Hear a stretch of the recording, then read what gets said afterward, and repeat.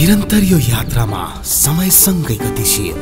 सबैको दुःख अनि सुखमा साथ दिँदै खुसी साट्दै।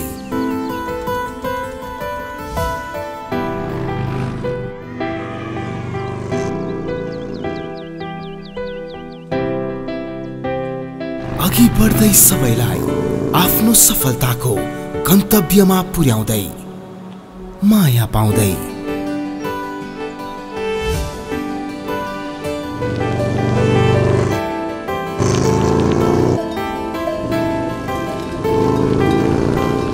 अनवरत यो यात्रामा हरेक अप्ठ्यारा क्षणहरूलाई सहज बनाउँदै सम्मान पाउँदै।